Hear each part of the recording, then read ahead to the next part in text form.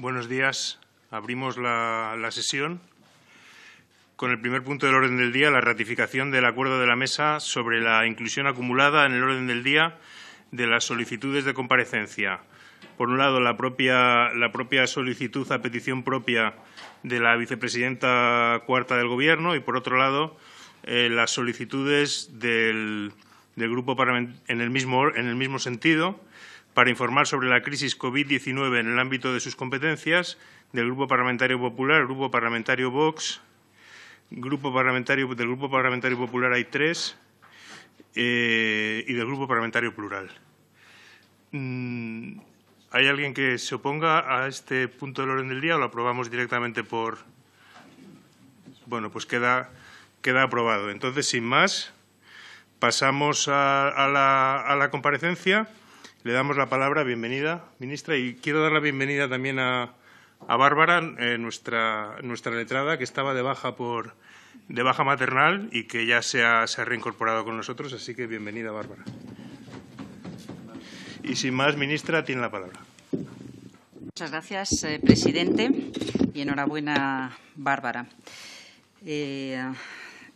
Quiero dedicar mis primeras palabras en una comparecencia dedicada a esta crisis, a la pandemia que nos ocupa, a todas las personas que, se han ido, muchas de ellas muy próximas en el recuerdo de cada uno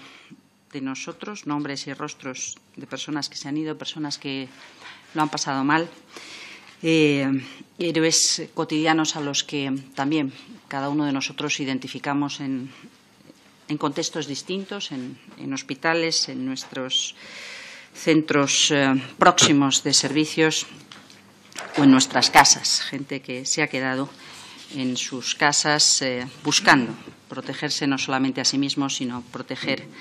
a los, eh, a los demás. Creo que pone de relieve el civismo y la responsabilidad de una gran mayoría de ciudadanos en una situación extraordinariamente complicada. Quisiera mm, empezar la intervención sustantiva destacando otra idea que también me parece importante, y es en una comisión como esta, que trabaja las cuestiones ambientales, de transición ecológica, de clima, de energía, hasta qué punto podemos encontrar algunos paralelismos importantes. Una crisis sanitaria como esta, una epidemia, un virus de incidencia global eh, en cuya respuesta, como en el caso del cambio climático, necesitamos la guía de la ciencia. Necesitamos entender cosas que son complejas, con relaciones causales eh, difíciles, con incertidumbres eh, enfrente de nuestros ojos y en los que el seguimiento, el entendimiento del mejor conocimiento científico nos ayuda en gran medida a no errar en nuestras decisiones crisis que son crisis globales, que no entienden de fronteras, que no entienden de razas, ni de religión, de edad, ni de sexo, y que exigen una concertación global, una respuesta global basada en la cooperación. Es muy difícil pensar que nadie pueda estar a salvo de las dificultades que genera un virus como este o el cambio climático si nuestros vecinos o en rincones alejados del planeta no se resuelven porque vuelve. Por tanto, el mensaje de que juntos debemos afrontar esta crisis sobre la base de la cooperación, porque si no somos demasiado pequeñitos, sigue siendo un mensaje importante. España vive en estado de alarma desde el 14 de marzo, una respuesta que nos ha servido en gran medida para eh, paliar, para reducir la velocidad de contagio de un virus que no conocía límites, que no conocía de fronteras administrativas, de fronteras geográficas. La aplicación del confinamiento ha salvado vidas, hasta 16.000, según las estimaciones del Oxford Institute. Y gracias a este proceso, con ese eh, permiso retribuido recuperable para trabajadores que frenó la economía entre el 30 de marzo y 9 de abril, eh, manteniendo un confinamiento todavía más estricto, hemos logrado doblegar la curva. Ha sido extraordinariamente difícil, extraordinariamente doloroso, pero hemos doblegado la curva. Hemos pasado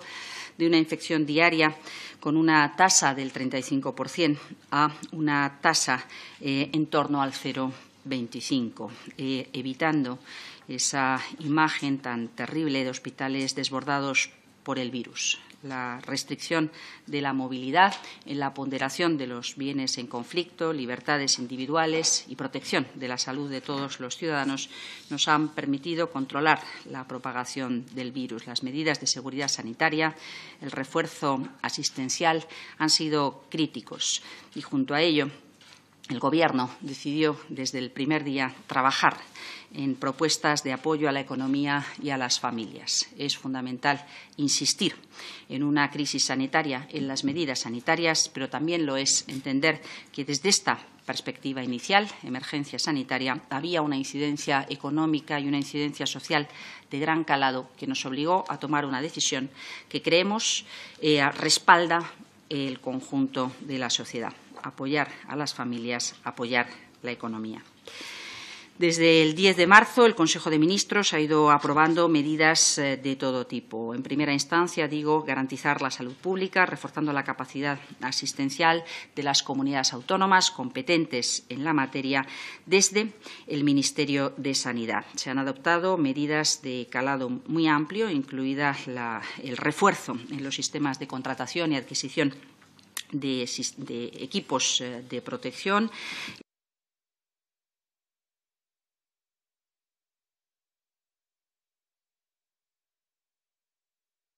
con la intención de preservar las rentas familiares, hasta el punto de que el volumen de recursos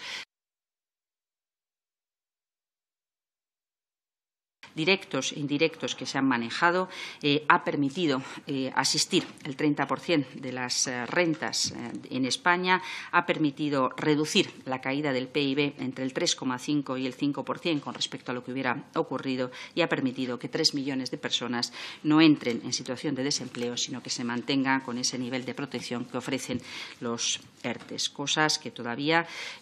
están pendientes de mantenerse a lo largo de las próximas semanas, de los próximos meses con las eh, modulaciones correspondientes al proceso de desescalada en el que estamos. Todo esto porque estamos convencidos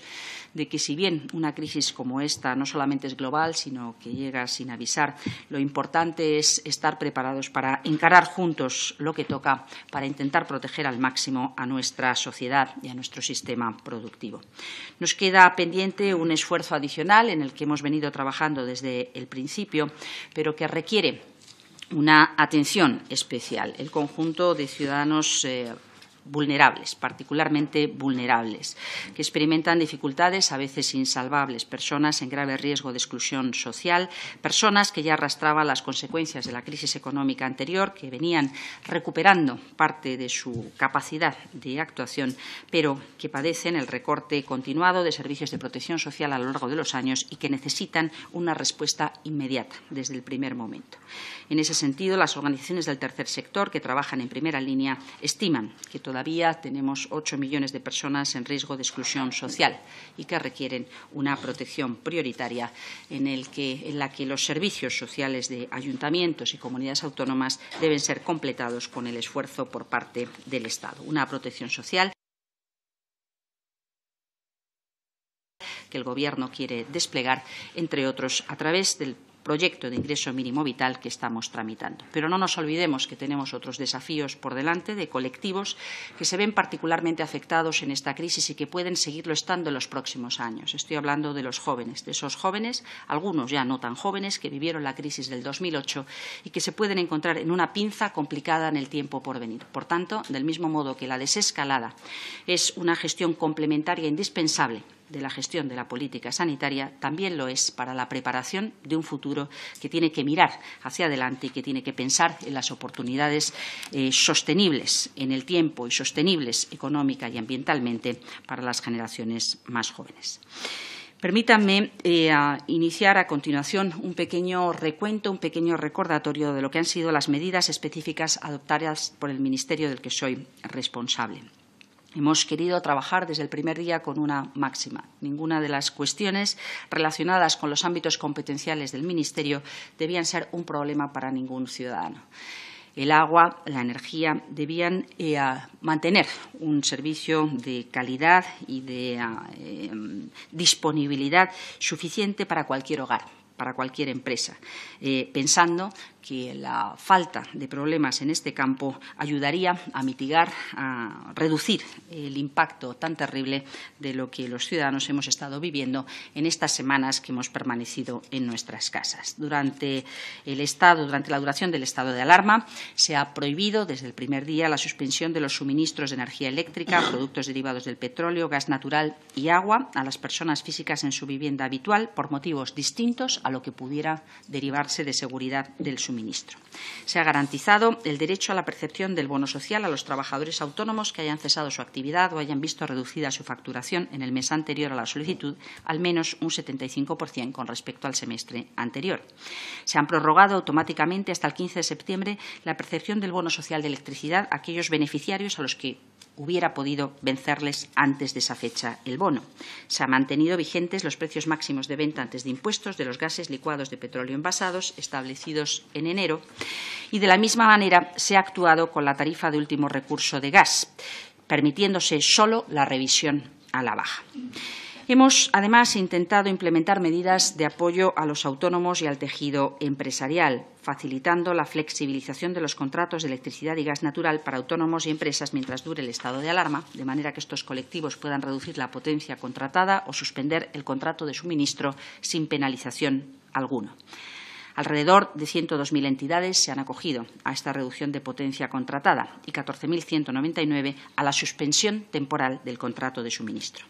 Se ha habilitado la posibilidad de que durante el periodo de alarma los autónomos y las pymes puedan solicitar la suspensión del pago de facturas de energía eléctrica, de gas natural, de gases manufacturados y gases licuados de petróleo por canalización, realizando dicho pago en los seis meses siguientes a la finalización del estado de alarma. Nos ha parecido importante también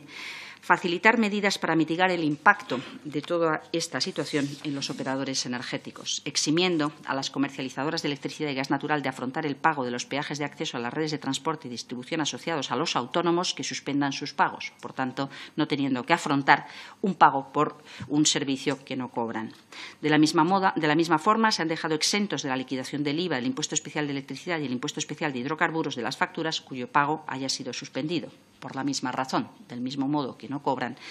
no deben tener que pagar la liquidación de estos impuestos. Se ha permitido excepcionalmente hasta el 30 de junio la venta de gasolinas destinadas inicialmente al periodo invernal, un tecnicismo pero importante, dado que el stock de gasolinas de invierno claramente no iba a ser cubierto con la demanda de esta temporada del año y, por tanto, el poder eh, darle salida en el periodo de verano era también algo importante para el sector. En otro orden de cosas, se ha garantizado el cumplimiento de servicios esenciales para el abastecimiento y distribución al por menor de carburantes y combustibles en estaciones de servicio y postes marítimos durante el estado de alarma declarado durante la emergencia sanitaria, garantizando así el poder acceder a los puntos de recarga y que al menos una gasolinera en todos los municipios que cuenten con este tipo de establecimiento permanezca abierta. También hemos tenido que intervenir en materia de gestión de residuos durante la situación de emergencia sanitaria. Hemos dictado instrucciones específicas acordes con las recomendaciones sobre gestión de residuos domésticos procedentes de hogares con personas aisladas o en cuarentena por COVID-19, que han sido remitidas a las comunidades autónomas y a la Federación Española de Municipios para que den traslado a las entidades locales. Son recomendaciones que afectan tanto al manejo domiciliario de residuos, siguiendo lo aconsejado por el Ministerio de Sanidad, como a la gestión de la bolsa con la fracción resto por parte de los servicios de recogida y plantas de tratamiento de estos residuos. Y en relación con el agua, como decía antes, hemos garantizado su suministro a todos eh, los eh, beneficiarios, a todos los usuarios, calculando que el impacto de los, eh, de los beneficiarios eh, significan entre 25 y 30 millones de euros mensuales sobre eh, la total facturación de los proveedores de suministro de agua. Como bien saben, en general, esta ha sido una medida que hemos tenido que trabajar con ayuntamientos y mancomunidades, dado que los servicios de abastecimiento y saneamiento urbano son competencia de los ayuntamientos. Las actividades de abastecimiento de agua y de tratamiento se han considerado esenciales en la normativa aprobada durante este periodo, lo que ha facilitado que empresas y operadores vinculadas al abastecimiento, depuración, conducción, potabilización y saneamiento de agua hayan sido contempladas en este sentido. Organismos de cuenca, sociedades estatales de agua han dictado resoluciones y planes de contingencia para asegurar que no hubiera ningún problema en la provisión de servicios críticos esenciales. Para todo ello, he procurado mantener contacto regular, no solamente con las administraciones directamente implicadas, consejeros o alcaldes, sino también con las empresas titulares de estos servicios eh, y los usuarios o las comunidades de usuarios más directamente afectados. Entramos en una eh, parte distinta de mis comentarios, de mi intervención, que tiene que ver con lo que ha sido una tarea adicional, no directamente relacionada con las competencias de mi ministerio.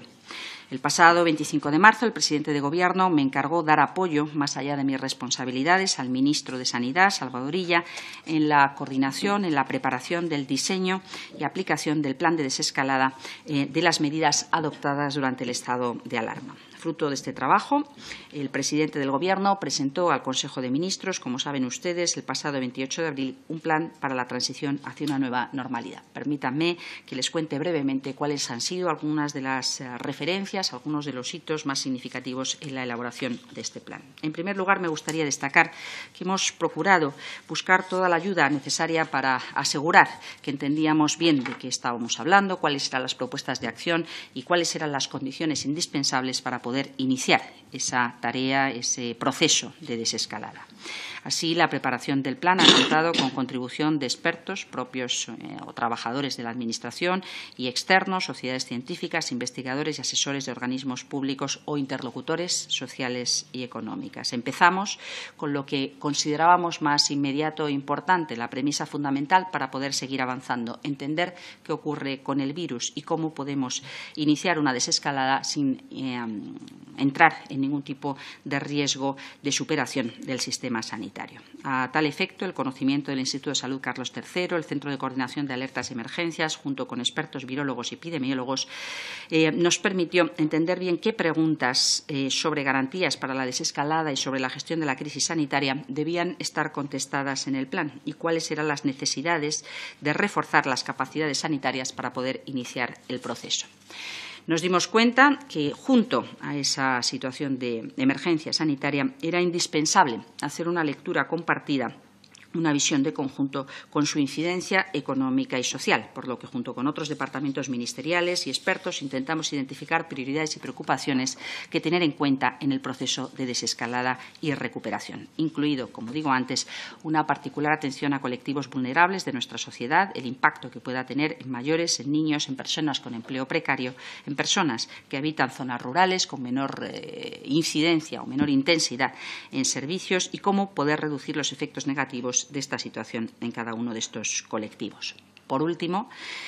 eh, integramos la dimensión internacional de la gestión de esta crisis. Eh, en aquel momento era obvio que aquellos países que estaban más avanzados en el proceso de respuesta a la crisis sanitaria estaban viviendo rebrotes asociados a la importación de casos, es decir, a personas que venían de fuera, pero contagiados por el virus y, por tanto, convirtiéndose en un potencial vector de transmisión. Por tanto, debíamos prestar atención a la posibilidad de importar o exportar personas contagiadas, aspecto que debíamos evitar a toda costa, implicaciones que pudiera tener el cierre de fronteras en nuestra economía, en particular debido al impacto de este cierre en el turismo internacional, o necesidad de fortalecer la cooperación internacional en la respuesta a las grandes crisis globales, como aludía al principio de mi intervención, ocurre en otras eh, grandes cuestiones que requieren respuesta multilateral concertada, o el efecto y el potencial papel de la Unión Europea en la construcción de una regulación completa al respecto o en la reconstrucción de nuestros sistemas económicos y sociales afectados por la crisis. Hemos buscado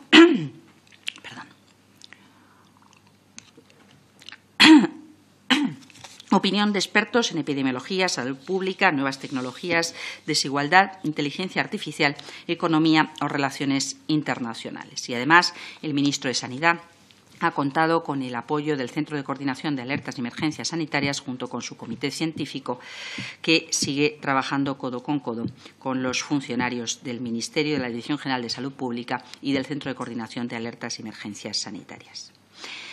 ¿En qué consiste este plan? Tenemos un plan inspirado por tres principios fundamentales. En primer lugar, la prudencia y seguridad sanitaria es la premisa más importante a la hora de abordar cualquier respuesta que se pueda dar, una prudencia y seguridad sanitaria que nos lleva a declarar eh, desde el primer momento que el margen, las incertidumbres existentes en torno al comportamiento del virus nos obligan a tener mucho cuidado con respecto a la previsión de la evolución de las distintas fases por las que podamos pasar, la gradualidad para poder medir, evaluar cuál es el efecto de cada una de esas medidas que se vayan incorporando y evitar un rebrote generalizado o fuera de control, y la gobernanza y corresponsabilidad en la medida en la que una muy buena parte de las competencias sustantivas que requieren ser aplicadas son de las comunidades autónomas. Por tanto, el diálogo y la cooperación con comunidades autónomas y entes locales debe ser fundamental clave para la correcta identificación de medidas, para la rapidez en el ritmo de recuperación del país, pero también en la buena gestión en la operativa de todo aquello que, coordinado desde la perspectiva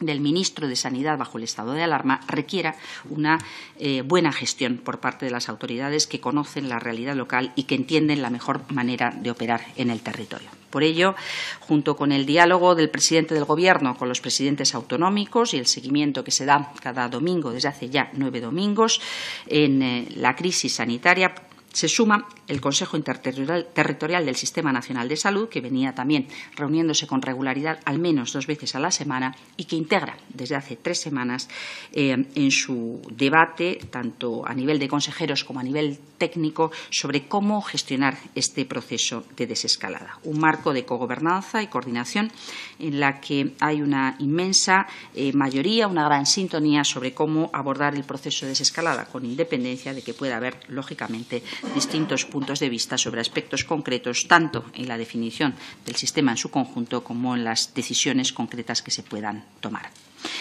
coordinando y acordando con las comunidades autónomas las métricas básicas y comunes de seguimiento del estado sanitario de cada territorio, es más fácil entender qué es lo que tenemos delante. Es más fácil identificar cuáles son las capacidades sanitarias que hay que reforzar, cuáles son los sistemas que nos permitan identificar en el primer momento, en un momento temprano, los posibles positivos, cuáles son las mejores alternativas para garantizar el aislamiento y, por tanto, la reducción de las posibilidades de contagio de estos posibles positivos, el trazado el seguimiento, el rastreo de aquellos contactos eh, más próximos de las personas que den positivo y con ello distanciar y facilitar el que el sistema sanitario no quede desbordado. En el proceso de elaboración del plan hemos tenido en cuenta los planes y estrategias de las distintas comunidades autónomas. Desde el 20 de abril, en las que se propuso a las comunidades autónomas este esquema de trabajo y se invitó a que hicieran sus aportaciones, hemos ido recibiendo comentarios y propuestas muy distintas. Casi el 90%, entre el 85 y el 90% de sus aportaciones fueron incluidas eh, e introducidas entre las medidas para cada fase de la desescalada, eh, referidos en un plan que no no es sino un plan orientativo cuya eh, exigibilidad eh, viene dada por el conjunto de las órdenes que van adoptando los ministros considerados autoridad delegada desde la eh, aprobación del decreto de estado de alarma. Por último, se ha trabajado bilateralmente con todas las comunidades autónomas sobre la base de las propuestas que hacen en materia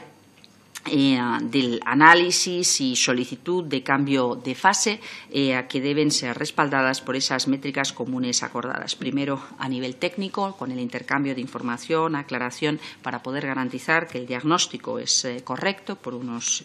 y otros y que tiene sentido la propuesta que se está haciendo. Posteriormente, en reuniones con la participación del ministro Illa y de los consejeros de salud para entender cuál es la incidencia de lo que se propone y discutir caso a caso y territorio a territorio fortalezas, debilidades opciones de mejora antes de proceder a la decisión final. También a través de la Federación Española de Municipios y Provincias y en contacto directo con los alcaldes de las ciudades más afectadas por eh, este episodio, hemos reforzado la coordinación con los ayuntamientos y las diputaciones provinciales, en tanto corresponsables del éxito de este proceso, sabiendo que tienen una muy buena parte de la responsabilidad directa del seguimiento de la aplicación de estas medidas, mediante la prestación de todo tipo de servicios. Eh, tienen una eh, larga lista y muy detallada lista de cuestiones sobre las que eh, pueden ofrecer eh, con gran criterio, con gran pertinencia, recomendaciones o preguntas. Por otra parte, se han organizado reuniones semanales con los agentes sociales en el contexto del diálogo social en el ámbito nacional con el fin de abordar juntos el proceso de desescalada, quizá uno de los primeros elementos de éxito con una gran exigencia y yo diría con un nivel de responsabilidad muy elevado fue la preparación de, esa primera de esa finalización de los 15 días de permiso eh, retribuido y la vuelta a los puestos de trabajo, garantizando que los centros eh, de trabajo fueran centros seguros, que el desplazamiento a los puestos de trabajo fuera un desplazamiento seguro, sobre la base, como digo, de una eh, interlocución entre sindicatos y empresarios enormemente productiva. Con todas estas aportaciones, el plan pretende reflejar eh, una gestión, evidentemente una gestión eh, de gobierno, una gestión administrativa, pero sobre la base congruente con el mejor conocimiento técnico del que disponíamos, habiendo escuchado a todos los interesados, apoyándose en los criterios definidos por la Organización Mundial de la Salud y la hoja de ruta de la Unión Europea, en estrecho contacto con nuestros socios internacionales, en estrecho contacto con los operadores más importantes a nivel nacional, insistiendo en los principios de precaución prudencia, proporcionalidad y seguimiento de la evaluación. Sabemos que el resultado es una gestión asimétrica a distintas velocidades que cada territorio va adecuando a la evolución de su propia situación y al fortalecimiento de las capacidades de su territorio. Una gestión coordinada para asegurar que no se producen rebrotes no gestionables de un territorio a otro. Tras analizar cómo van funcionando las medidas en las sucesivas fases, podremos ir ajustando un proceso que esperemos vaya siempre en la misma dirección, pero que desde el primer momento advertimos depende en gran medida de la solvencia, de la responsabilidad, de los niveles de autoprotección de cada uno de nosotros, de la solvencia, de la respuesta de cada una de las administraciones e instituciones y en el supuesto de que hubiera algún rebrote necesitaremos evidentemente eh, actuar de inmediato y de manera concertada, dar marcha atrás en esa fase de desescalada. Confiemos como decía antes, que esto no sea así, pero no nos olvidemos, esto puede ocurrir. Ha ocurrido ya en otros muchos eh, países y tenemos que estar preparados para el supuesto de que ocurra. Quisiera, además, eh, mm, hacer unos breves comentarios sobre eh, esa otra reflexión que tenemos, que tenemos por delante. Hemos iniciado un proceso de desescalada con eh, un, eh, un, mapa en el que nuestros eh, territorios van evolucionando de forma distinta, en fases que en principio son identificadas de común acuerdo por los gobiernos autonómico y nacional en la mayor parte de los casos, no siempre. Esta semana hemos recibido, ha recibido el Ministerio de Sanidad propuestas de evolución en algunas de las comunidades autónomas y los técnicos de la Dirección General de Salud Pública y del CAES están haciendo una evaluación junto con los técnicos de las consejerías de las comunidades autónomas sobre ese diagnóstico y esa propuesta que se hace. Confiemos en que todo evolucione correctamente en las semanas por venir, pero también sabemos que en el momento de la reconstrucción, como decía antes, cuanto más y mejor preparados, estemos eh, para eh, poder eh, dar solvencia a nuestra economía y nuestro tejido social más rápida y más justa, más inclusiva será la respuesta de conjunto. En esta dirección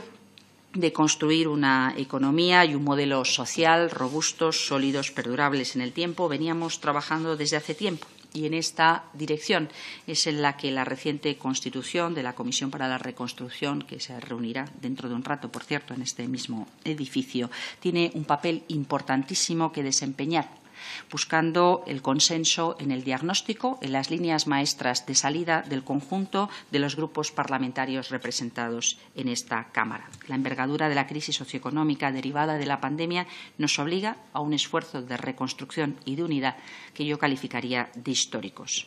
El frenazo a la economía, la hibernación temporal de la actividad productiva nos obliga a anticipar un impacto duro pero también, si el Plan Marshall ayudó a Europa en un momento crítico de la reconstrucción tras la Segunda Guerra Mundial y el New Deal sacó a Estados Unidos de la Gran Depresión,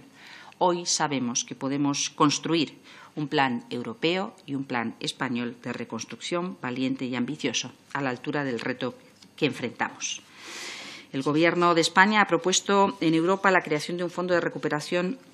de entre 1 y 1,5 billones de euros financiando con deuda perpetua de la Unión Europea para activar la economía española, perdón, la economía europea. Saben que este es un ejercicio en curso, complejo, con distintas visiones por parte de los Estados miembros, todavía no definido, no definido definitivamente. Apostamos firmemente porque ese fondo financie prioritariamente inversiones que, que, contribuyan al fortalecimiento de nuestra sociedad y nuestro sistema productivo, paliando el impacto sufrido por grandes sectores de nuestra economía, pero también facilitando una transición ecológica y digital que nos genere fortalezas en el medio plazo.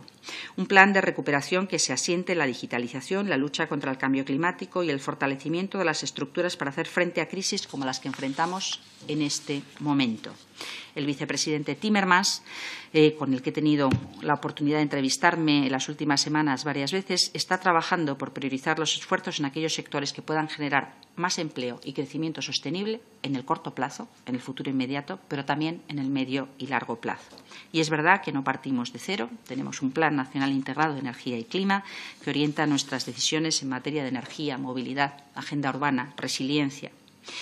el fomento de la electrificación y de las energías renovables, la resiliencia frente al cambio climático, la digitalización, la reindustrialización inteligente, un turismo sostenible, un turismo respetuoso con nuestra biodiversidad y nuestro entorno, la protección de nuestros mares, el impulso de la movilidad eficiente y sostenible son campos de trabajo sumamente interesantes. La rehabilitación energética, la reordenación urbana o la apuesta por la economía circular también lo son, con un gran potencial de innovación, mejora, eficiencia y competitividad para una reconstrucción sostenida en el tiempo. Son algunas de las claves de ese Green Deal que creemos imprescindibles. Sabemos que tendremos desafíos por delante y me gustaría poder contar con todos ustedes en la respuesta a estos desafíos. Primero,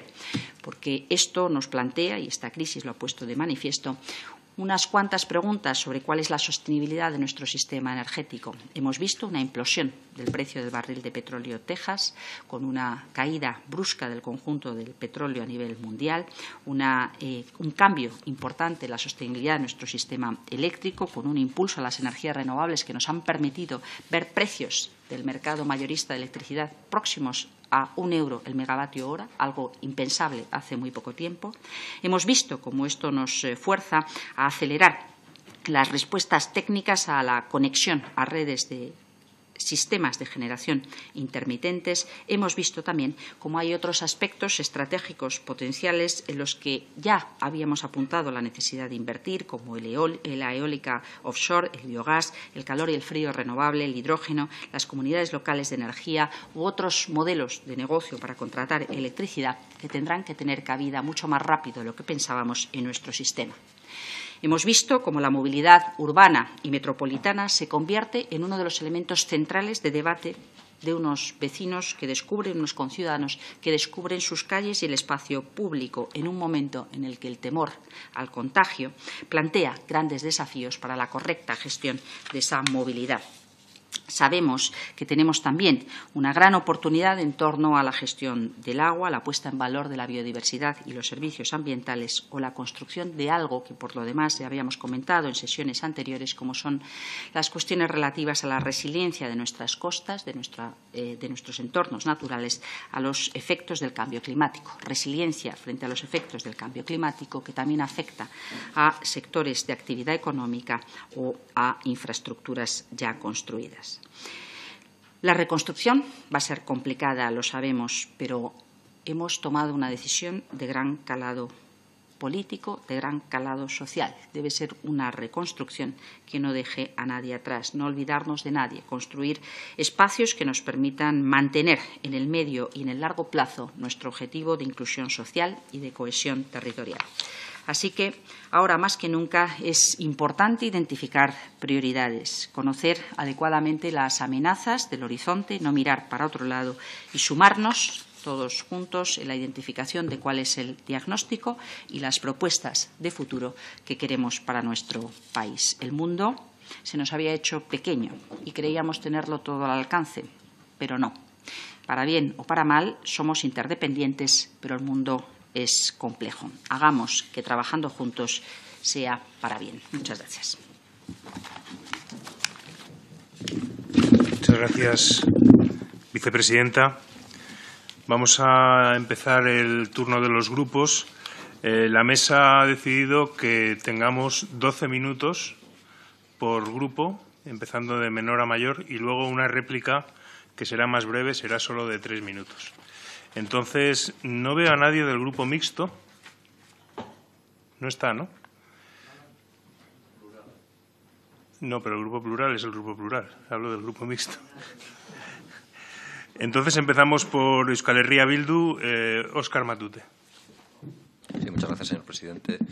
Eh, ministra, en primer lugar, pedirle disculpas, porque con esta concatenación de comisiones me va a ser imposible poder escuchar su respuesta ahora, si la escucharé con posterioridad, y, me voy a limitar casi más a hacer aportaciones por eso mismo, más que preguntas que, no podría escuchar de forma directa.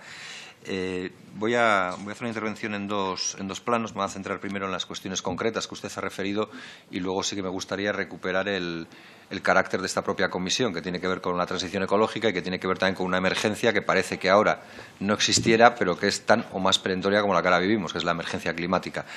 Respecto a, las cuestiones que, usted ha planteado, y con las de carácter general, eh, usted nos ha señalado que existen ocho millones de personas en riesgo de exclusión social. No nada parece indicar que la cifra vaya a disminuir en los próximos meses, sino más bien al contrario. Y ahí es donde me gustaría conocer cuáles son las, intenciones de, su gobierno, del gobierno del que usted forma parte, para hacer frente a, esa cruda realidad de un aumento del riesgo de la exclusión social, de más gente eh, al límite de, la precariedad, de un aumento considerable de la pobreza energética y, por tanto, qué, medidas eh, con carácter eh, no sé si indefinido, pero por lo menos de, medio, de medio alcance se van a tomar. Porque usted hablaba de los ayuntamientos, del papel de los ayuntamientos. Nosotros y nosotras compartimos esa reflexión, es decir, esa malla de protección básica social que son los ayuntamientos en lo que tiene que ver con, con el, con el pago de necesidades básicas como el agua, la luz, la electricidad. Ya se viene haciendo en muchos ayuntamientos, supongo que del, conjunto del Estado español. Yo conozco lo que se hace en Euskal Herria y es así, es decir, las ayudas de emergencia social, otro tipo de cuestiones. Pero eh, me surge una duda. ¿Cómo van a poder seguir haciéndolo si parte de los recursos que el Gobierno central prevé eh, destinar dentro de ese plan de contingencia lo hace detrayendo las cantidades que le iba a dar a los ayuntamientos y que ellos mismos iban a emplear para esa realidad? Es decir, no hay más recursos, sino que en cualquier caso lo que hay es un, eh, un gestor diferente de los recursos, pero los recursos son los mismos. Y eso es algo que nos preocupa. Es decir, nos gustaría que se garantizara eh, la partida que, los, que se iba a destinar o que iban a percibir los ayuntamientos y que iban a destinar a estas cuestiones y que, aparte, en todo caso, hubiera una partida excepcional o adicional por parte del Gobierno para hacer frente a esa realidad que usted ha descrito, yo creo que de manera bastante atinada, como, una realidad eh, acuciante para cada vez más personas. Otras de las cuestiones que, ha comentado es las que tienen que ver con medidas concretas. Yo no, voy a perder demasiado tiempo, sino señalarlas eh, con, con, los suministros de agua, energía, etcétera. Mm, ustedes plantean la moratoria y al final la moratoria no es la exención, es eh, en todo caso la posposición de un pago que tendremos que ver cómo lo afrontan si eh, la recuperación económica no es tan eh, acelerada como se prevé y, por tanto, su condición de precariedad amenaza cada vez más gente. A nosotros, desde luego, nos parece que es mucho mejor hablar de suspensión que de moratoria si quiere incluso de condonación. Y, lo decimos porque no, no hay sino que comparar los enormes beneficios que parte de esas empresas suministradoras se van a llevar también durante este, durante este periodo. Es decir, la realidad es que la mayoría de los ciudadanos y ciudadanas van a ver amenazada su calidad de vida, pero también parece otra certeza que muchas de las empresas de las que podemos hablar a continuación van a ver, incluso en esta situación de, de crisis sociosanitaria, aumentados sus beneficios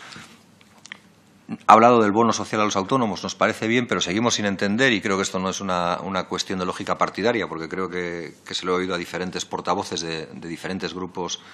de esta Cámara, seguimos sin entender por qué eh, se mantiene la rigidez o cuál es la justificación que explica la rigidez del 75% de pérdida en, lo que tiene que ver con los autónomos. nadie nos ha explicado por qué el 75% garantiza que uno ya está digamos, en, una situación insostenible y no el 50%, porque además la casuística de, autónomos también es variada y probablemente la pérdida del 50% en algunos autónomos podrá ser sostenible, pero en otros incluso la pérdida del 30% hace ya insostenible porque no antes vivía en la opulencia. Entonces, mm, seguimos sin entender los 75%, salvo que sea una cuestión de un criterio fijo y,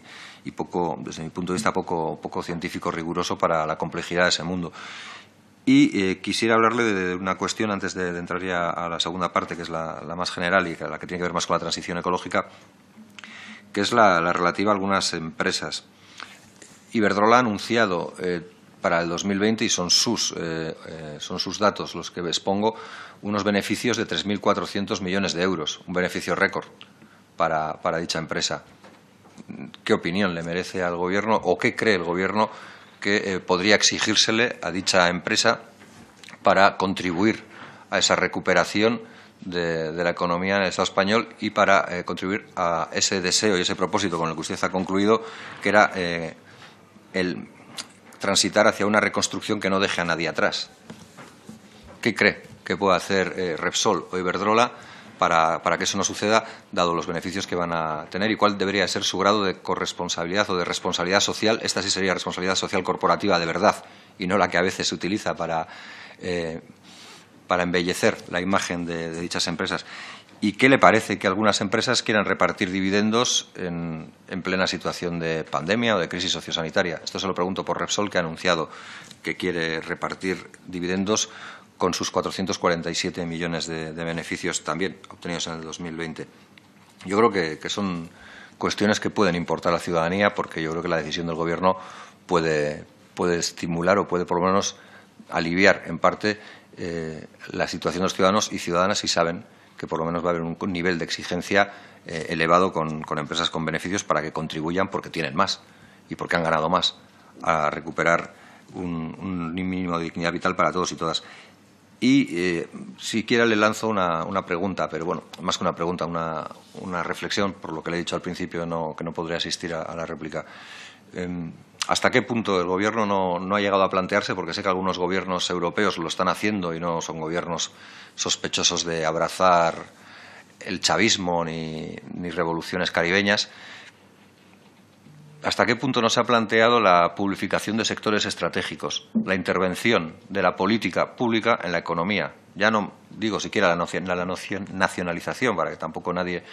eh, se asuste en, esta comisión, pero por lo menos la participación pública en niveles de mayor control y de mayor orientación que la que se tiene en la actualidad en sectores estratégicos. Y parece bastante evidente que un sector estratégico puede ser el de, el de la electricidad y el del agua, porque sin electricidad sin agua se hace bastante complicado pensar en, una vida digna. Y para finalizar,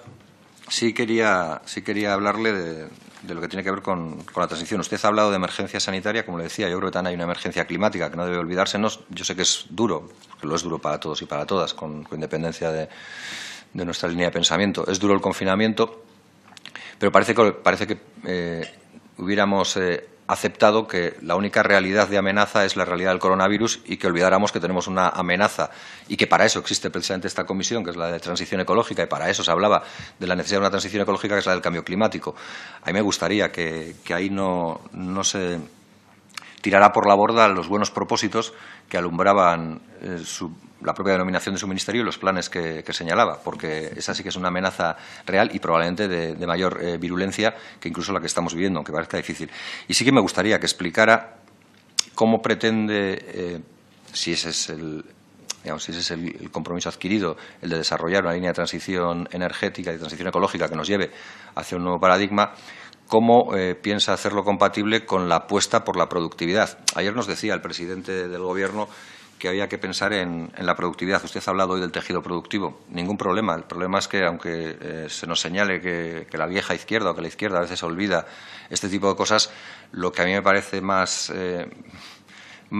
errático en la izquierda es no atender a la multidimensionalidad de las cosas. Es decir, eso sí que es viejo en la izquierda, es plantearse que, por ejemplo, la producción industrial tenía que pasar por encima del medio ambiente. Eso es un debate del siglo, del siglo XIX que yo creía, creía que habíamos superado, por fortuna. Es decir, que eh, la necesidad de producir y de dotar de, condiciones materiales a los y las trabajadoras no era incompatible con el derecho a, gozar de, un medio ambiente sostenible y saludable. Entonces, me gustaría que explicaran esa reactivación del tejido productivo en qué, en qué dirección se va a realizar, porque si vamos a ir hacia un productivismo y a un extractivismo todavía mayor de los recursos naturales, si vamos a seguir alimentando circuitos eh, comerciales y de producción que nada tienen que ver con, el circuito corto, con las distancias eh, cada vez más eh, cercanas al kilómetro cero, pues probablemente ni consigamos los efectos de movilidad reducida y eficiente, ni consigamos todos aquellos eh, factores o indicadores que considerábamos vitales o básicos para poder eh, no ya construir algo mejor, sino dejar algo construido para generaciones venideras. Por sí que, sí que me gustaría que, se explicara cómo se piensa hacer eso. Y termino ya con, una cuestión, porque si no me, excedería en el tiempo y tampoco lo veo necesario. Yo creo que hay esfuerzos, que se están haciendo esfuerzos en este contexto en el que vivimos, donde probablemente haya que optar en, ese cruce de caminos por dos opciones. Eh, una, la de reconstruir el modelo anterior, ese modelo que eh, alumbraba la normalidad que vivíamos, o transitar hacia un nuevo modelo que construya una nueva normalidad, como dice el presidente, que desde luego sea bastante más justa que la que vivíamos eh, con anterioridad. Y ahí hay, como le digo, hay esfuerzo. Nosotros, desde luego, nos encontramos más ahí que en la de la reconstrucción de un modelo como el neoliberal que, que nos volverá a llevar a la generación de la segunda comisión o el segundo Ministerio de Transición Ecológica para hacer la segunda transición que no se hizo porque había que atender las urgencias de, esta reconstrucción. Como no queremos eso, creemos que hay que transitar hacia ahí y como tampoco se trata de, eh, lanzar palabras y que queden en el aire, yo creo que hay reflexiones muy interesantes sobre la economía ecológica que se están haciendo desde diferentes ámbitos. Nosotros hemos visto con mucho interés y le animamos a que lo valore, a que lo contemple y a que en la medida de lo posible lo analice para ver cuál es la posibilidad de implantación, eh, un manifiesto que se, que se ha elaborado por la comunidad académica del País Vasco, lo han firmado en, en un inicio más de 350 profesores y, académicos de la Universidad del País Vasco, ahora ya están por eh, alrededor de las 800 firmas, que plantea precisamente eso, una economía ecológica en la Euskal Herria post-COVID 2019, pero que creemos que en parte de, sus planteamientos, y aunque la realidad y la, tipicidad industrial pueda ser sensiblemente diferente en algunos aspectos, sí plantea eh, elementos que puedan ser concomitantes con lo que pueda eh, plantearse en el Estado español. Y en la medida en que lo que se hace en el Estado español todavía hoy nos afecta, pues eh, por la realidad eh, administrativa en la, que estamos inmersos, pues sí nos gustaría que, lo atendieran. Yo creo que ahí sí que hablan de resiliencia, hablan de cambiar de rumbo, de una fiscalidad medioambiental realmente efectiva y que vaya más allá de la investigación y también se plantee eh, tasas de fiscalidad que, ayuden a la reconstrucción y que la reconstrucción, desde luego, por ejemplo, no se haga en, términos de observancia total y unívoca al Producto Interior Bruto como, factor o indicador, sino que haya una desagregación del propio modelo. Y eh, con eso terminaría, porque ya me imagino que en estos momentos y ante esta urgencia hablar de soberanía alimentaria o de agroecología puede parecer frívolo para alguna gente, aunque en realidad esté en el meollo de, este problema.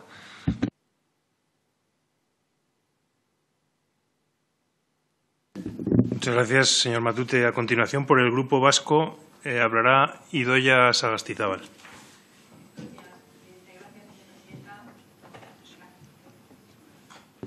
Gracias, eh, vicepresidenta, por sus explicaciones hoy, eh, además como responsable de coordinación en el proceso de desescalada. Eh, la verdad es que le ha tocado una tarea difícil y, desde luego, valoramos el esfuerzo que, está realizando. nosotros veníamos reclamando una desescalada simétrica, compartida y recíproca, porque así entendíamos que se trasladaba un mensaje de seguridad y certidumbre, una desescalada como al fin va a ser en gobernanza y en codecisión con las comunidades autónomas, para adaptar sobre todo las medidas a la propia realidad de las mismas, teniendo eso sí como guía desde luego la responsabilidad y la prudencia. Coordinación, por tanto, con el Gobierno eh, en ese marco bilateral e incluso multilateral, aceptando también los indicadores sanitarios comunes con el fin de ordenar pues, bueno, lo que son eh, el proceso en todo el Estado, tal y como se ha acordado. Y por eso nosotros valoramos, y además porque, como usted bien ha dicho, lo que se trata es de garantizar la salud pública en una realidad de Estado compuesto, descentralizado, en el que la toma de decisiones a lo mejor puede ser más compleja, su aplicación descentralizada, desde luego, respetando la arquitectura institucional del Estado, para nosotros es más eficiente y eficaz, porque son, como he dicho, los que conocen de primera mano todos los problemas. La crisis, como también se ha dicho aquí, es asimétrica y, por tanto, su salida también. Eh, porque es obvio que la estructura productiva del tejido productivo es muy diferente tanto por sectores como por comunidades autónomas. Y esto nos lleva a que las decisiones a lo mejor pues, tienen que ser eh, no, tan homogéneas. Eh, es muy fácil, desde luego, creo que hablar de la gestión de la pandemia, sobre todo cuando no se tienen responsabilidades de gobierno. Y es que a, todo, a toro pasado todo se sabe. Hay muchas personas visionarias con soluciones a los problemas, como si se tuviera la varita mágica.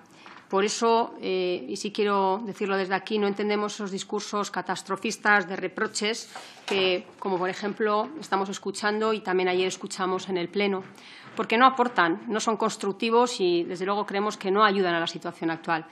Eh, no es el camino porque entendemos que lo único que hacen es encrespar a la sociedad, que ya tiene bastante congestionar es su miedo ante lo desconocido, ante la incertidumbre y ante las consecuencias que esta pandemia les pueda acarrear.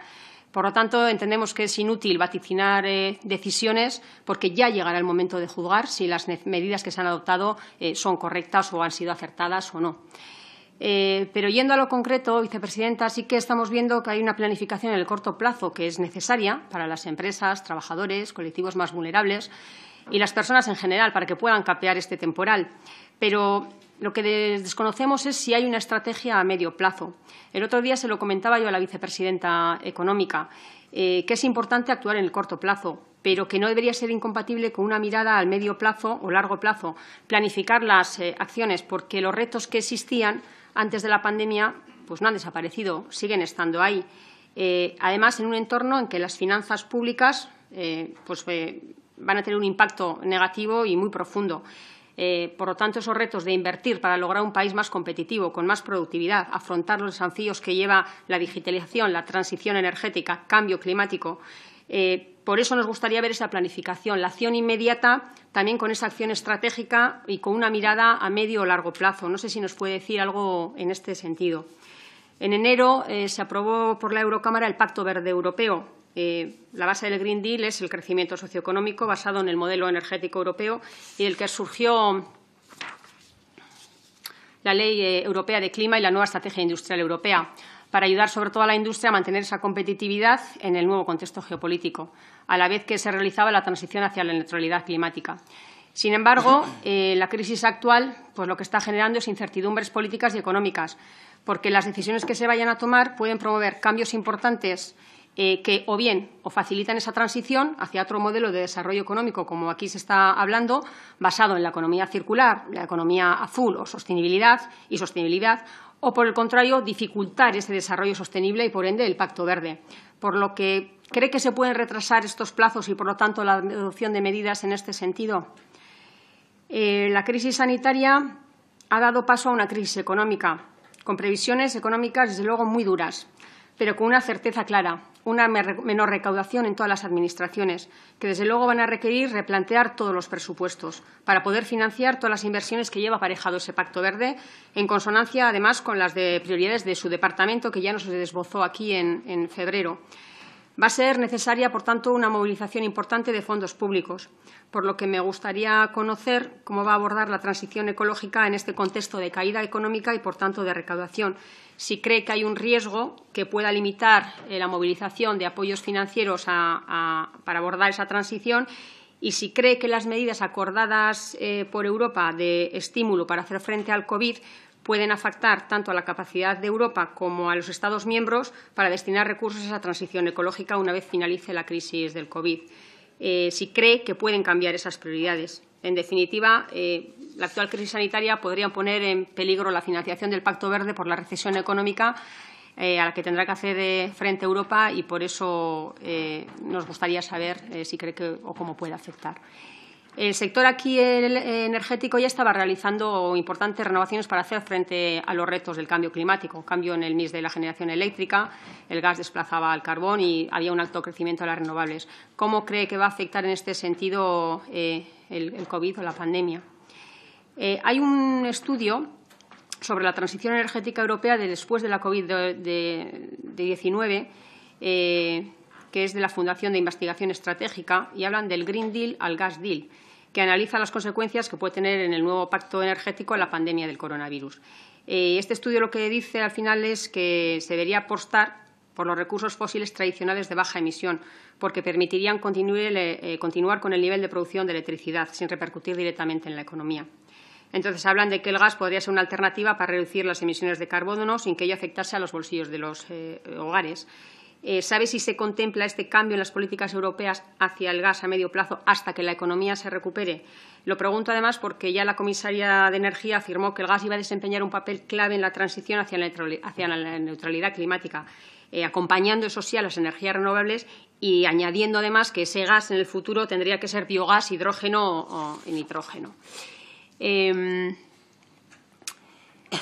la crisis también ha, desatado, ha destacado el carácter esencial de la energía y este hecho, desde luego, ha tenido reflejo en las medidas que ha adoptado su, Ministerio, porque han ido dirigidas por a garantizar el suministro a los consumidores, como ampliar la cobertura del bono social de manera temporal para aquellos que han visto reducidos sus ingresos.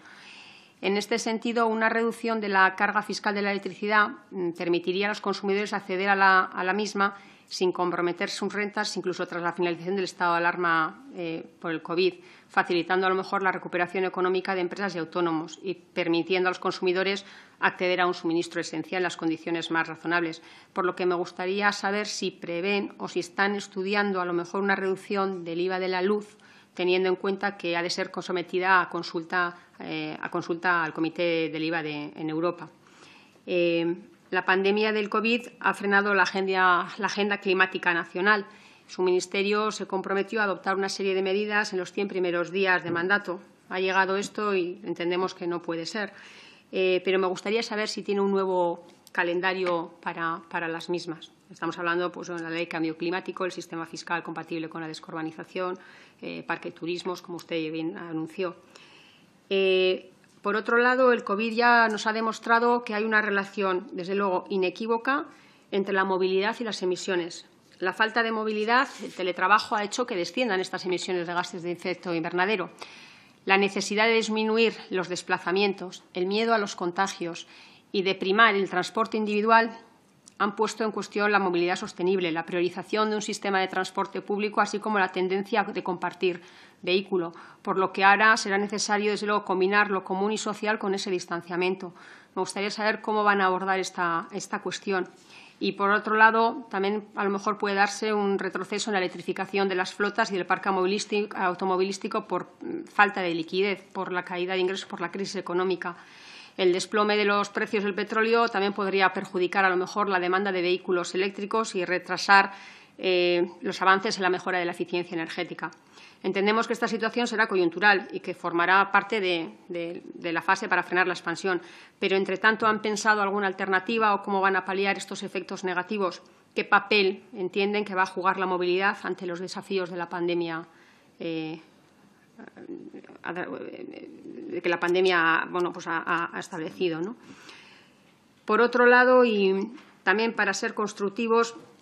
a lo mejor habría que ir valorando algunas medidas que podrían eh, ser buenas, entendemos, pero que no tienen impacto presupuestario. En estos días de confinamiento, desde luego, las infraestructuras energéticas como las de telecomunicaciones entendemos que han sido claves para el teletrabajo, para el entretenimiento, para la formación ante esas restricciones de movilidad. Eh, esta conjunción, desde luego, desde de las telecomunicaciones con las redes de distribución de energía, pueden, pueden permitir el avance hacia la descarbonización, por lo que a lo mejor una aceleración e incrementos de la inversión en estas redes de transporte y distribución de electricidad pueden permitir al sector eléctrico gestionar con un alto grado de integración de fuentes renovables embebidas en todos sus niveles de tensión la digitalización y conversión en redes inteligentes, el actual parque, al tiempo que ayudan a soportar esas solicitudes de nuevos consumos y servicios como recarga eh, inteligente de vehículos. Eh, nos gustaría saber, bueno, si tiene algo de esto en mente. También se podría acelerar, pues bueno, o incrementar la inversión en energías renovables eh, y acelerar los planes de desarrollo de la red nacional de recarga pública. Eh, todo esto porque bueno, lo, lo, realizan los distribuidores eléctricos y no tendría impacto. Y también bueno, pues, la eficiencia en la edificación, si prevén eh, o qué, prevén, qué, medidas prevén en este, en este sentido, porque bueno, a lo mejor igual podríamos hablar de las bombas de calor eh, que tienen un coste menor. por último, y sí me gustaría preguntarle una cosa muy concreta, hay dos órdenes, la 401-2020 para restablecer los controles en las fronteras interiores aéreas y marítimas, eh, por COVID, en la que el artículo 4 parece contradictorio con el artículo 5 de la orden sobre 403-2020 sobre las condiciones de, cuarentena de las personas procedentes de otros países. Eh, me gustaría saber cuál, cuál de las dos eh, puede prevalecer, en el sentido de que parece que alguien puede venir a trabajar eh, si tiene una justificación para, para el trabajo, pero eh, a lo mejor tiene que estar 14 días eh, de confinamiento si no pertenece a ese ámbito de trabajadores transfronterizos o tripulación o sanitaria o, sector sanitario en ese sentido, con lo cual a lo mejor podría pues, bueno, entorpecer las labores de algunas, algunas empresas, sobre todo algunas de valorización de residuos. Y nada más, nuevamente, para finalizar, aprovechar la reconversión va a exigir las, la reconversión que va a exigir las, con, las consecuencias del COVID con la transición ecológica como palanca atractora, desde luego va a,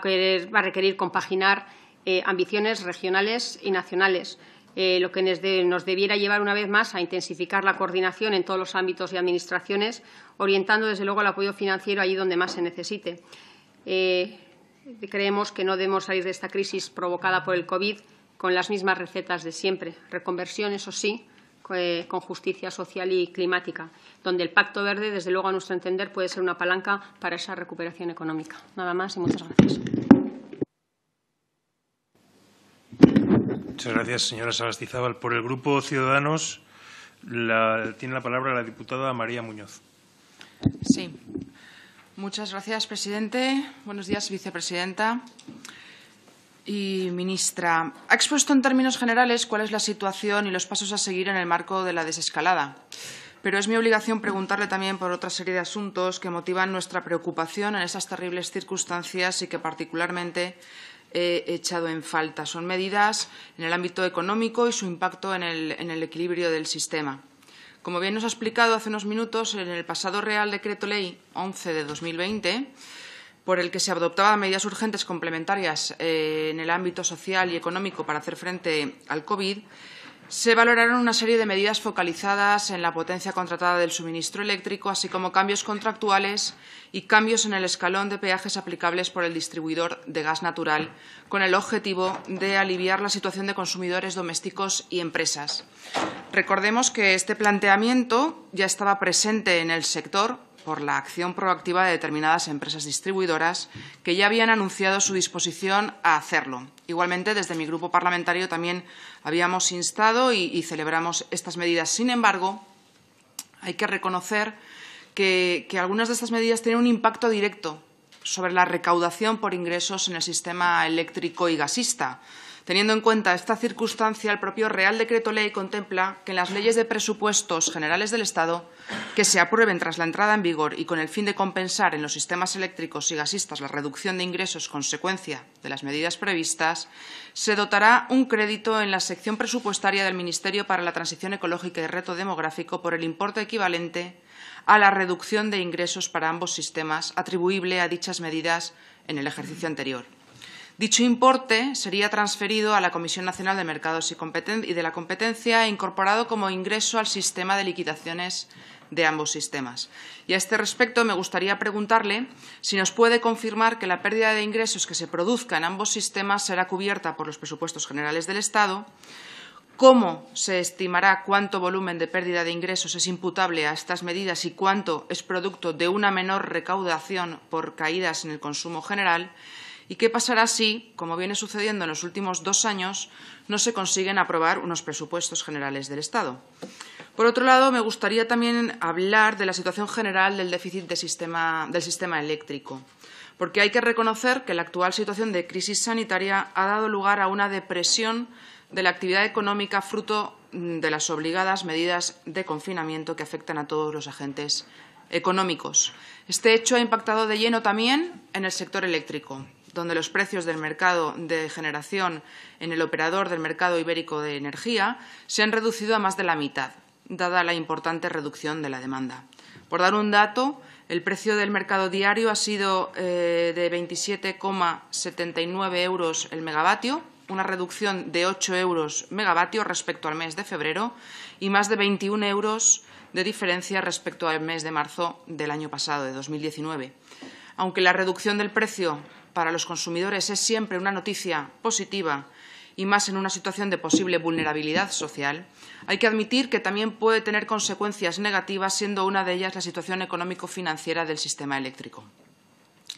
En efecto, ya la previsión de cierre de las liquidaciones del sistema eléctrico para 2019 contempla, según qué fuentes, un déficit de entre 350 y 1.000 millones de euros. Este desequilibrio se compensaría con el superávit acumulado en años anteriores. Sin embargo, el impacto de la crisis sanitaria sobre los ingresos del sistema tanto por el menor consumo como la menor recaudación por peajes a causa de una menor potencia contratada, como por menor recaudación del impuesto sobre el valor de producción de la energía eléctrica, amenaza con un nuevo importante déficit anual en 2020, que no está claro de qué modo podría gestionarse, ya que conforme a la legislación vigente y a falta de una nueva orden de cargos del Gobierno, una nueva orden de cargos que el Gobierno mantiene sin aprobar, contraviniendo así la propia legislación del Real Decreto Ley 1 de 2019 y con un retraso ya superior a tres meses, debería compensarse con nuevos ingresos, lo cual parece contraproducente en un escenario de depresión económica. En síntesis, vicepresidenta, el sistema parece abocado a un nuevo déficit o a una subida de cargos y peajes, salvo que el Gobierno plantee medidas adicionales, entre las que estaría la publicación pendiente de esa mencionada orden. Y por ello eh, le pregunto que qué previsiones de déficit del sistema eléctrico maneja el Gobierno para este año, para este año 2020, qué, qué medidas eh, plantea para evitar este déficit ¿Cuándo prevé el Gobierno publicar la orden de cargos del sistema eléctrico conforme a la, legislación introducida por el Real Decreto Ley 1 de 2019? Y, por último, querría referirme a, posibles medidas adicionales en el ámbito fiscal. Es decir, más allá de las medidas eh, señaladas y de la situación del equilibrio financiero de los sistemas,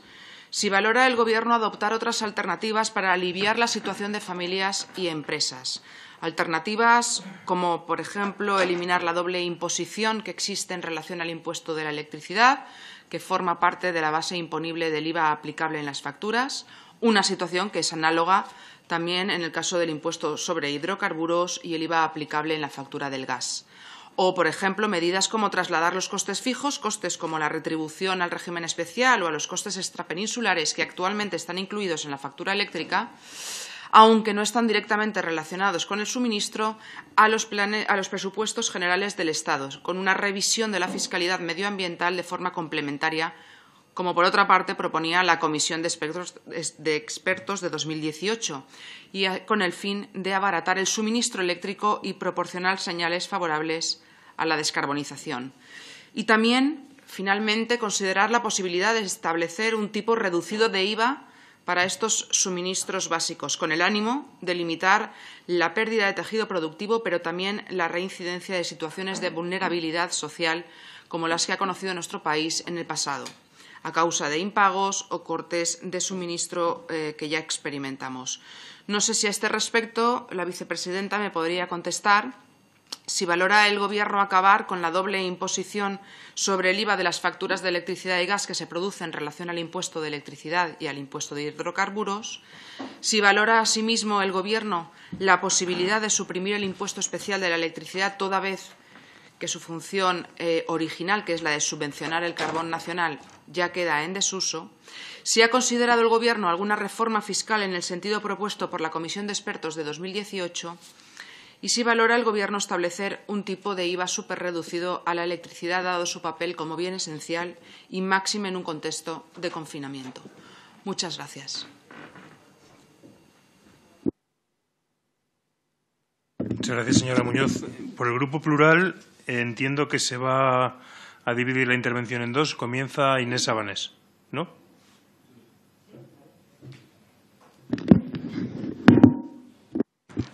Gracias, presidente. Pero como tenemos 12 minutos y quiero dejar tres minutos si, si me pueden avisar para, no, para tenernos en conjunto el grupo plural al tiempo, a los nueve minutos en mi caso. Exacto. Gracias. Muchas gracias. Bueno, en primer lugar me sumo a, todas las manifestaciones de reconocimiento y de homenaje tanto a las víctimas como a los familiares como a los afectados por la pandemia y, en segundo lugar, mm, voy a hacer la intervención y pido disculpas de antemano porque no podré estar en la réplica, aunque la leeré atentamente porque tengo que ir a la Comisión de, Reconstrucción. Yo quería centrarme en, tres o cuatro temas importantes por, resumir. En primer lugar, nuestra preocupación y con respecto a la, orden, con respecto a los residuos, nosotros tenemos una preocupación con el incremento del tratamiento, el incremento exponencial que ha habido de residuos, especialmente de residuos sanitarios. Tenemos una preocupación general y una específica en Madrid. Sabemos de quién son las competencias y sabemos eh, lo que dice exactamente la, la orden ministerial, pero también sabemos que es absolutamente imprescindible saber los censos, saber el control, tener la evaluación, porque el incremento es de tal magnitud que además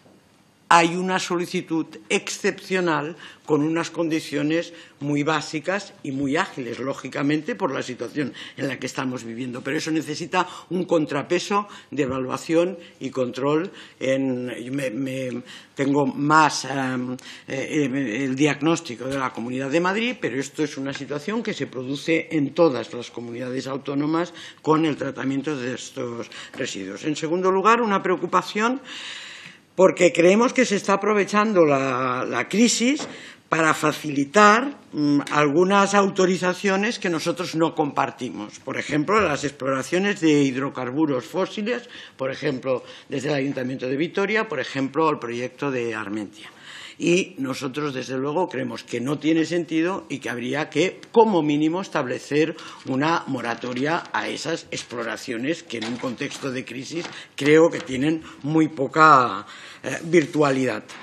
En tercer lugar, estamos profundamente preocupados, lo han dicho otros intervinientes, con el tema de la movilidad. los mensajes contradictorios no se pueden dar. No puede salir el Ministerio diciendo que los seguros, el Ministerio de Sanidad, en anuncios públicos diciendo que lo seguro es utilizar el coche. No. Es que las ciudades de nuestro entorno lo que están haciendo es una planificación previa para abordar la movilidad, salvaguardando la sostenibilidad y, desde luego, sería una catástrofe que una vez que hemos rebajado los niveles de contaminación a niveles que nadie podía pensar, eh,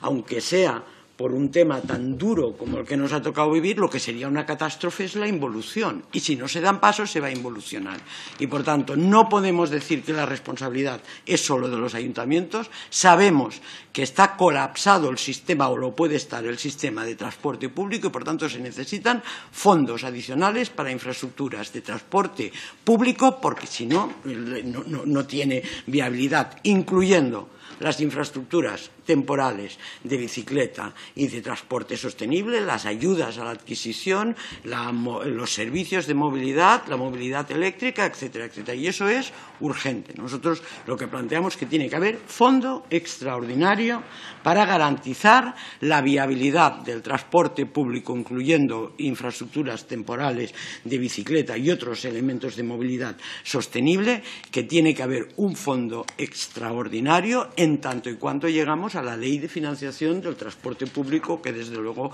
es un elemento que es fundamental. Nos parece que esto es de una enorme importancia ahora y en la transición a la normalidad. Es, tan estratégico la movilidad y que, desde luego, garanticemos que no haya una involución, que entiendo que hay que tomar medidas con carácter inmediato. En tercer lugar, ah, me gustaría que, nos indicara si hay, creo que ya se lo han preguntado, pero si hay modificaciones de las que fueran en la hoja de ruta con respecto a los acuerdos y las 25 medidas que se hicieron públicas con eh, la declaración de la emergencia climática. Si hay ajustes, si hay reajustes, pero eso también para nosotros es muy importante. Eh, a medio plazo, también decir que mm, algunas eh, decisiones o algunas manifestaciones que se hacen no encajan con la necesidad estratégica de estar alineados con el Pacto Verde Europeo que señala precisamente sectores estratégicos muy claves. Entonces, señala eh, descarbonizar, el consumo energético, las renovables, la rehabilitación eh, eh, de vivienda con criterios de, eficiencia energética, la movilidad y el transporte público, la industria, la economía circular, la alimentación de proximidad, la protección a la diversidad. Eso es lo, señala luego. Toda e, esa duda metódica que planteaba el señor Matute sobre si lo que vamos a hacer es un parón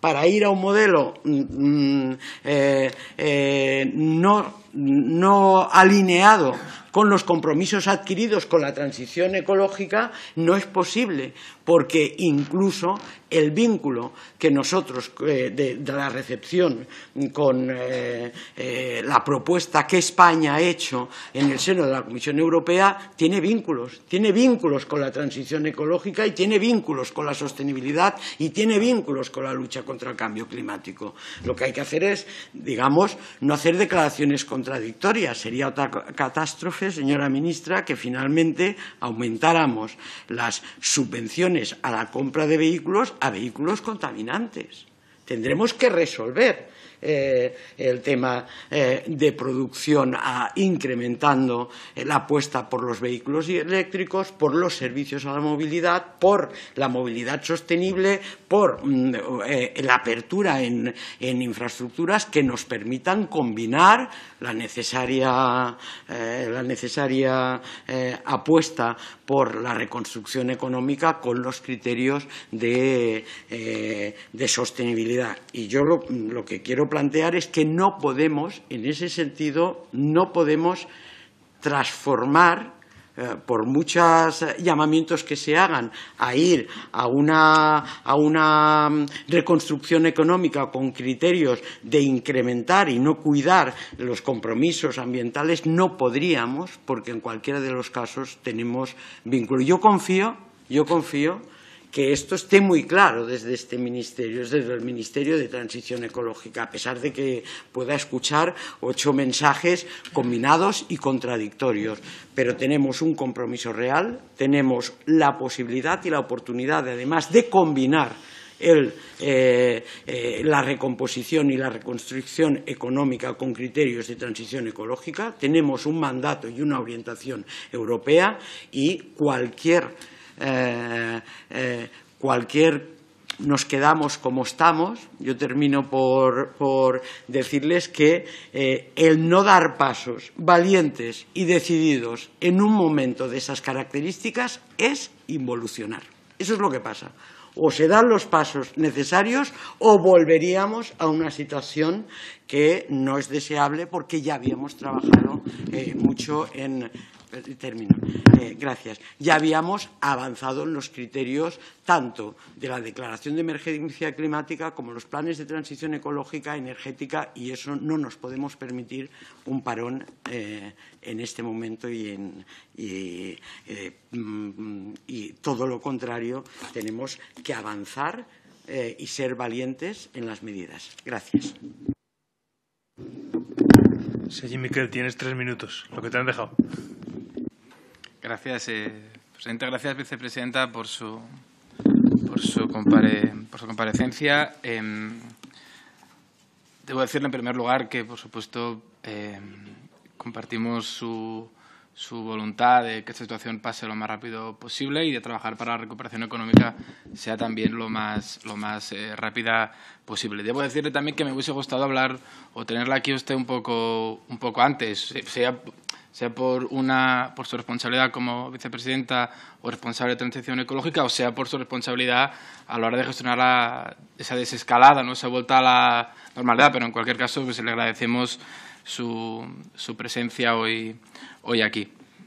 Eh, empiezo por una pregunta que, que, ya le lancé en su primera intervención eh, en esta legislatura y que no me respondió y vuelvo a probar a ver si tengo más, más suerte esta vez, y es eh, conocer si tiene el Gobierno eh, previsión para aprobar el reglamento de redes de distribución de energía eléctrica cerrada, que debería estar redactado desde junio de 2019 y que sigue pendiente de su presentación por parte de su Gobierno. Y queríamos conocer cuál era su situación, si tenía, si tenía calendario, si había previsiones sobre este tema. Em, sigo con sus responsabilidades como, como responsable de transición ecológica. En este caso, un tema que afecta a costas. Queríamos saber, dado que la situación actual va a afectar clarísimamente eh, los responsables de las explotaciones de los servicios de temporadas en, en, las playas especialmente, queremos saber cuál es la estrategia del Gobierno para paliar esa, esa situación. Algunos les piden bonificaciones de la tasa, otros les piden em, que se establezca una prórroga y que este año no se cuente, por así decirlo, eh, puesto que efectos de ingresos seguramente va a ser algo muy parecido en aquellos casos que se pueda, que se pueda em, retomar la actividad. ¿no? Con lo cual, queríamos saber cuál era la propuesta, la iniciativa del Gobierno frente, frente a esta mm, situación. siguiendo también con, con em, costas, eh, queríamos pedir eh, la tabla de consens del Delta. ya le he pedido distintas veces conocer los plazos para la ejecución de los compromisos que su ministerio ya anteriormente también había, había adquirido. Querían conocer eh, si hay un plazo previsto de ejecución de esos, de esos compromisos recogidos en el Pla, en el Pla Delta. Igual que querían conocer también em, la opinión del Gobierno sobre la situación de las playas del Trabocador, de l'illa de, de Buda o del Delta Nord, eh, que necesitan eh, de dragados para poder recuperar eh, su, su, entorno natural, pero también su, su, actividad vinculada sobre todo en el sector eh, primario. ¿no? Quieren saber cuál es la opinión del Gobierno y los compromisos que el Gobierno quiera o, o no pueda adquirir en, ese, en este sentido y en este ámbito muy, muy concreto. Paso ahora a cuestiones que te hacen referencia más a su nueva responsabilidad. Que... No pase mucho porque ha terminado su tiempo. Vale, 20 segundos, 20 segundos, presidente. Eh, y que intentamos que el, que el, ministro de Cultura nos diese, nos diese información. Intentamos también que el gobierno de, que el ministro de Consumo, perdón, eh, nos diese información y no lo hemos conseguido. Intentamos saber si con usted tenemos más suerte vinculado a sus nuevas responsabilidades. ¿no? Eh, y es, saber qué va a pasar con los festivales de música y los grandes eventos previstos para este verano. Lo digo porque podemos intuir que no se van a poder celebrar con plena eh, normalidad, pero el Gobierno no ha dado ninguna indicación, ninguna señal de eso que permita a los festivales o a los promotores de los festivales eh, actuar en ese sentido, en consecuencia, y protegerse también frente a, cuestiones de, vacíos legales que se pueden generar a partir de esta, de esta sensación. Eh, el Real Decreto 11-2020 que ustedes aprobaron en su artículo 36 ya prevé para las agencias de viaje y para los viajes combinados una cosa que les puede servir de inspiración para también para los festivales de música que creo que protege al consumidor y protege también a los, eh, a los festivales porque de no, de no hacerlo, eh, ministra, eh, el, panorama de festivales de música de este país va a quedar arrasado y es algo que no nos podemos permitir desde muchos puntos de vista, ni económico, ni social, ni sobre todo cultural. Con lo cual quería conocer si usted tiene alguna opinión, algún criterio o alguna referencia sobre cómo vamos a poder afrontar esa, esa situación. Eso es todo. Muchas gracias. Muchas gracias. Por el Grupo Republicano tiene la palabra el señor Capdevila. Muchas gracias, señor presidente. Sumarnos, en primer lugar, a las expresiones de pésame a las familias de las personas fallecidas en la pandemia que sufrimos. Uh, y tenía. Es, es consuetud uh, empezar por una, por una cuestión general y terminar con planteamientos. La gravedad de, de la cuestión de emergencia uh, ambiental que ya le ha señalado mi compañero, el ilustre uh, diputado por Girona, uh, sobre las salinas de la Trinidad y sobre la que quiero llamar la, su atención. usted conocerá, supongo, la situación. Estas salinas están situadas en la punta de la Baña en la península de los Alfaques, eh, en el extremo occidental del delta del Ebro de la, eh, eh, y están unidas por la tierra firme por la playa del Trabocuador que le comentaban.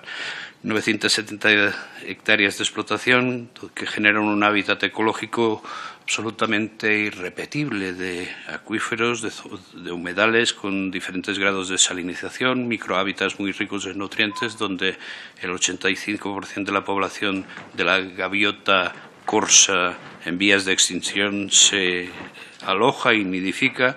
o donde habita una colonia de flamencos que crían en Cataluña, al igual que una densa población de nátidas, limícolas, de, las más numerosas de España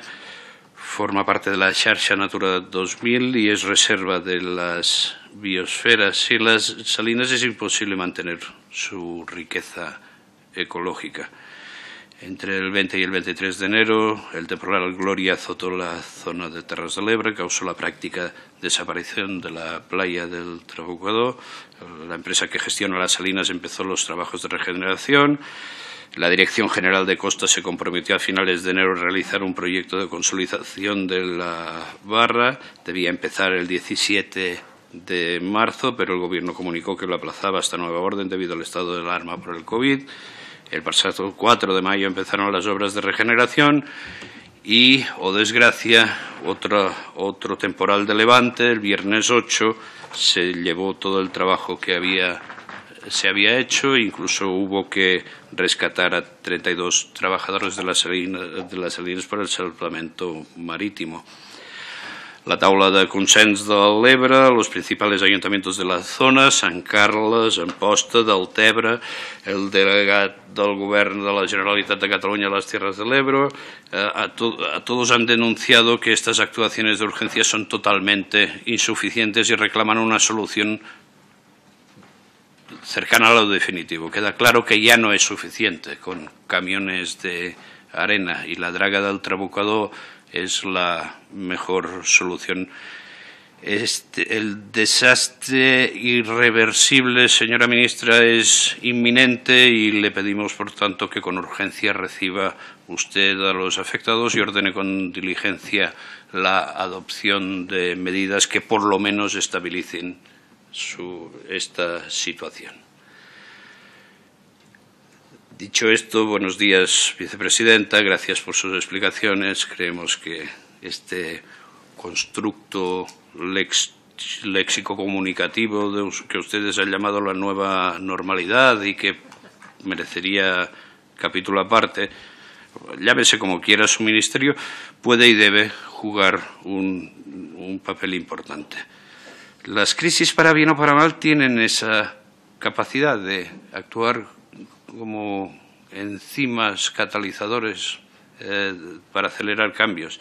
Si bien es cierto que en estos cambios pueden tomar caminos antagónicos, como, ya se ha señalado, esperamos que esta vez no se opte por la misma salida a la crisis del 2008. Sus nuevas y amplias y exigidas atribuciones se acumulan a las muchas que ya detentaba. Eh, que son para las que eh, estamos en esta comisión y en ellas me gustaría que se, centrara en la medida de lo posible, por favor. A nosotros mm, nos tenía y nos encontrará remando en la misma dirección porque somos firmes defensores de que en tiempo de tribulación no hay que hacer mudanza y que este no es un aforismo eh, conservador combina a no dejar el rumbo a pesar del temporal.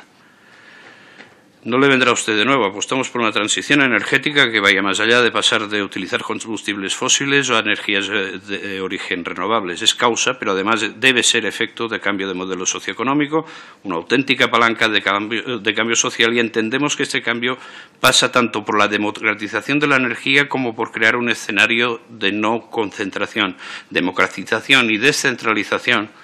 deben ir de la mano o no habrá auténtico cambios. Señora ministra, debemos entre todos encontrar la forma de dar valor al kilovatio hora de kilómetro cero.